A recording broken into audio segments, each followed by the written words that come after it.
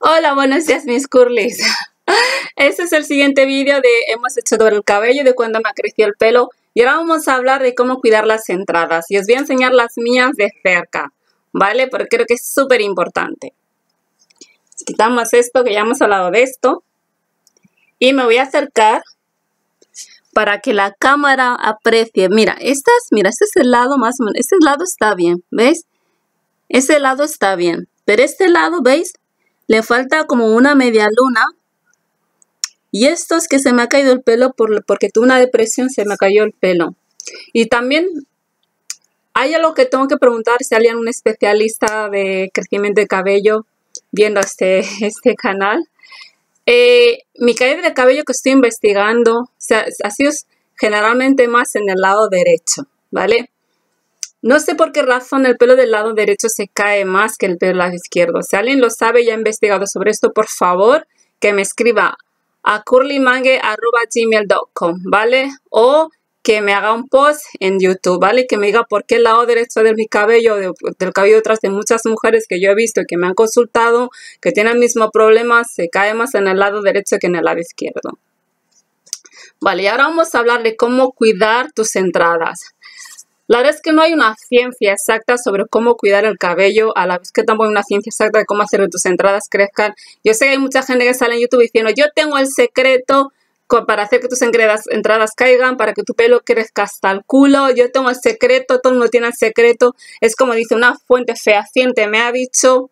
Bueno, yo ni tengo fuente fehaciente, ni tengo una gurú, ni tengo una mujer con la bola de cristal para que me diga cómo cuidar las entradas, ¿vale? Lo que sí que tengo es mi experiencia de cómo he hecho para recuperarlas y cómo se me han caído, ¿vale? A ver, los motivos por los que se te puede caer las entradas puede ser eh, las caídas del cabello en, general, depresión, causas hormonales, eh, estrés, enfermedad o genético, ¿vale? Estrés. Bajo una presión de trabajo, te están haciendo bullying, tu trabajo es muy estresante, acabas de tener un hijo, eh, no sé, tienes una economía fatal, eh, la, vida no te va bien en general, eso puede causarte pérdida, caída de cabello, a la vez que otras cosas, ¿vale? Eh, hormonales, pues por ejemplo, cuando las mujeres tenemos la regla, pues a veces hay, hay, personas pues que tienen caída de cabello porque también pierden vitaminas, ¿sabes? Sobre todo cuando tienes la regla, pierdes muchos componentes, hierro, papá, papá, papá, y todo tiene, por eso también cuando tienes la regla tienes que intentar comer, comer fruta, comer verduras, cosas que te aporten esas vitaminas que estás perdiendo, ¿vale? Aparte de perder las cosas malas, también pierdes cosas buenas, ¿ok? Hemos hablado de eso, hemos hablado estrés, hormonal, hemos hablado también eh, por ejemplo, las, hemos dicho estrés hormonal genético, ¿vale? Pues que tengas una predisposición genética en tu familia de que, por ejemplo, haya mujeres pues que tengan, tengan alopecia, pues que tienen tendencia a que se quede el pelo muy finito o que se les caiga. O, por ejemplo, en los hombres pasa mucho. Hay hombres que tienen un gen que, que, que, produce un gen que evita que tengan, que tengan alopecia y otros que no lo tienen, pues que sufren alopecia por pues, pues, cosas eh, familiares del árbol genealógico, ¿sabes? Que a todos nos afecta una otra. ¿Qué hemos hecho? Hormonal, estrés, genética, enfermedad. Pues que tengas sistemas en el, por ejemplo, psoriasis. La psoriasis puede hacer que tu pelo se caiga, por ejemplo, porque está débil, porque le salen como escamas y demás. Puede haber un motivo de enfermedad que a lo mejor tú no sepas.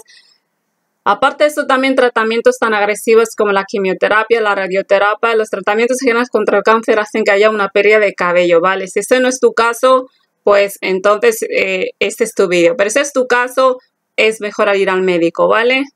Ya sabéis que yo soy una persona, yo soy advisor, doy consejos, ¿ok? Pero yo no soy doctora, por lo tanto siempre recomiendo que cualquier decisión que vayas a tomar respecto a tu salud, por favor, si ves que es grave o no, acude primero al médico. Si el médico dice nada, te dice que no es nada, que estás fenomenal, que solo tienes una pequeña pérdida de cabello por estrés y que lo que tienes que hacer es tomar pues fruta, verdura o lo que sea y echarte un champú hidratante o lo que sea en el cabello, pues entonces vienes aquí y dices, vale, Curlyman que me ha dicho que aparte de hacer todo eso, pues mm, hidrate muy bien mi pelo, me ponga muy buen acondicionador para que mi pelo se recupere y duerma con un pañuelo de satén o de raso. Pero si el médico te dice, señora o señor o señorita, mire, lo que usted tiene es un problema médico, por favor, tómate el tratamiento, ¿ok?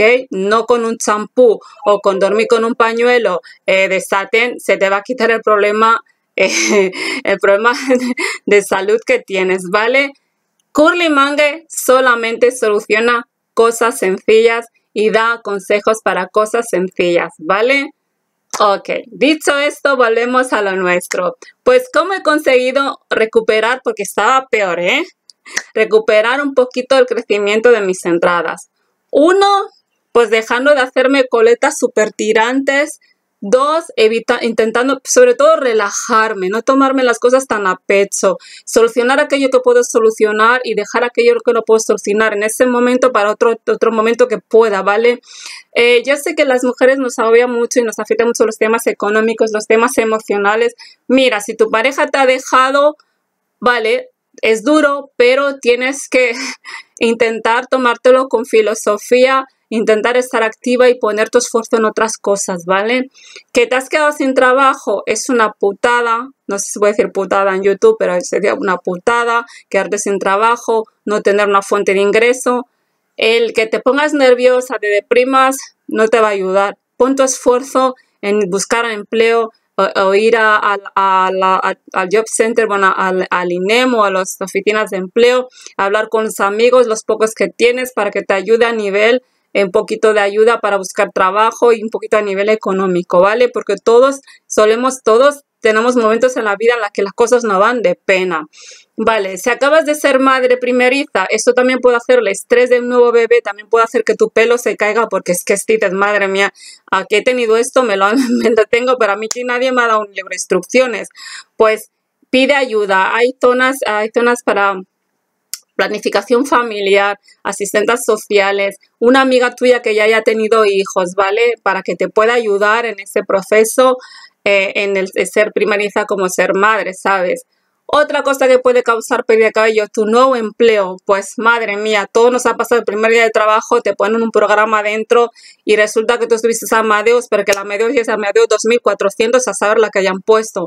Pues perdóname, antes era, tú le explicas, oye mira, yo utilizo el sistema Amadeus, ahora es Amadeus X4800 y yo el 4800, perdona que yo todavía no me he actualizado, pides ayuda a un compañero, a tu jefe o antes de entrar en la empresa te informas del sistema que utilizan, ¿vale? Para que luego no te pille el toro. Y así tú conservas tu cabello. Otra cosa, vale, eh, quiero ascender y es que esto no llega y a mí no me dan el ascenso y esto estoy ya cabradísima y es que esto me hace que no coma y esto hace que pierda el cabello. Mira, el ascenso a un trabajo no depende de una, tú hasta donde puedas. Es decir, si para las seis no tienes que subir cinco escaleras, tú subes cinco escaleras. El sexto es el que tu jefe te tiene que ayudar a subir y esto no depende de ti porque tú ya has puesto lo tuyo. Así que intenta hacer eso, subir las cinco escaleras que se piden y al sexto tienes que esperar que la persona que te tiene que ayudar a subir a esta secta lo haga, ¿vale? ¿Qué más se puede suceder? El bullying en el trabajo. El bullying en el trabajo, que es una situación de, depresión, que te causa depresión, una situación de desesperación con no sabes qué hacer, pues puede hacer y, hace que muchas veces no solo se te caiga el cabello, también que pierdas salud.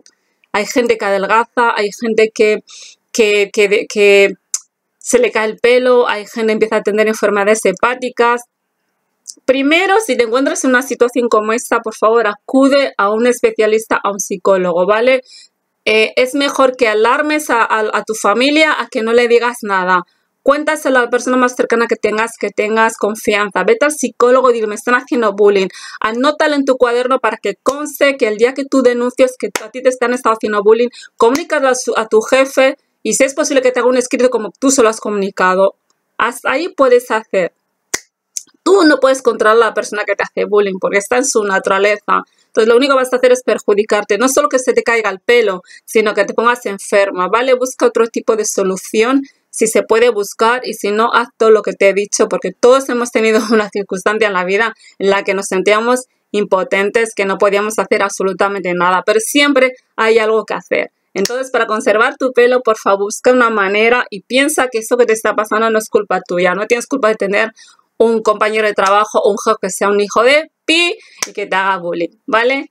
Estoy diciéndolo así en plan discernido, pero sé que es algo muy serio. Por eso también te digo que primero acudas a un especialista, ayuda familiar o a quien tengas que acudir para plantearle lo que te está pasando, ¿vale? Para que esa persona te ayude a activar otras herramientas, otras ayudas, ¿ok?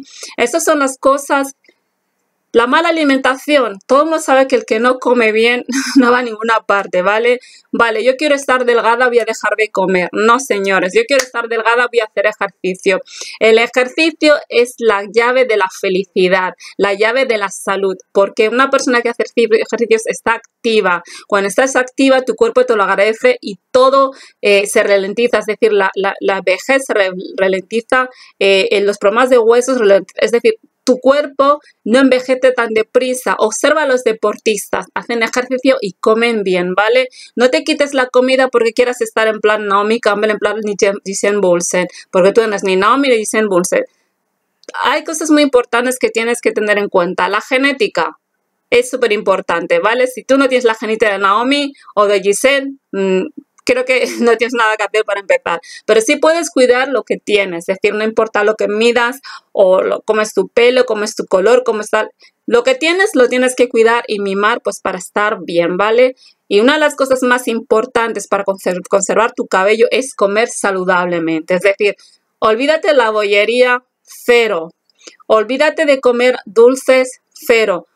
De vez en cuando comerte una chuchería no pasa nada, pero no te alimentes de ella. Olvídate de la comida basura. Cero. Toma frutas, vegetales, frutas, vegetales, eh, pescado y carne. Y como última opción, ¿eh? te puedes comer de vez en cuando un curazano o un bollo, ¿vale? Si no sabes muy bien de qué va la historia de la alimentación, Bájate una pirámide de la alimentación para estudiarla bien de arriba abajo, de cabo a rabo. Y si tienes dudas, acuda a un especialista, un especialista, una especialista, un nutricionista o a la seguridad social y le cuentas sobre la médica cabecera, mira, me pasa esto, estoy adelgazando, no como bien, no sé qué comer, la comida tal me sienta mal, para que él ella o él te envíe a un especialista, ¿vale? No se juega con la salud ni siquiera para conservar el cabello, ¿vale? Porque la salud es para toda la vida y el pelo te puedes poner peluca al fin y al cabo. Bueno, dicho esto, este video están durando un poquito más porque estamos hablando de cosas importantes, ¿vale? Y nada, y eso es todo por hoy. Un besito, os quiero un montón y recordar, Curly Mange solo dan consejos. I give advice, but I'm not a doctor. Que yo no soy doctora, no estoy licenciada en, en, medicina. Lo que yo hago es simplemente dar apuntes y dar eh, consejos, pero siempre os aconsejo que ante cualquier duda y respecto a la salud, integridad física o psicológica, por favor acudir a un especialista que para eso ellos han estudiado para ejercer la medicina, ¿ok? Pero si tenéis una, vamos a ver, tenéis una duda simple sobre, oye, ¿qué producto me compro sobre cabello o qué te ha ido mejor? Entonces, yo os, ah, puedo ayudar. Entonces, contactar con Curly Mange, que ya siempre están on para respuestas sencillas que no necesitan un doctor. Venga, chao, yo os quiero. Hasta luego. Y disculparme por este video tan largo, pero es que era muy importante hablaros de esto. Y recordar, para cuidarse las entradas, última puntualización hidratarlas bien. Hay que un poquito de agua de vez en cuando por las mañanas, por la noche dormir con un pañuelo de seda, no hacer, eh, no hacer grandes esfuerzos, no, ataros, no echaros, ataros el moño muy fuerte ni la coleta muy fuerte, ¿vale? Si os ponéis un moño, intentar que sea siempre, ves, así de ligero. ¿Os acordáis de la doctora Queen, que es una serie que me encantaba? Ella llevaba siempre un moño muy bajo. ¿eh? Entonces, no le dolían las, las entradas, ¿vale? Doctora Queen, moño doctora Queen. Vale, ya está. Un besito y hasta luego. Chao.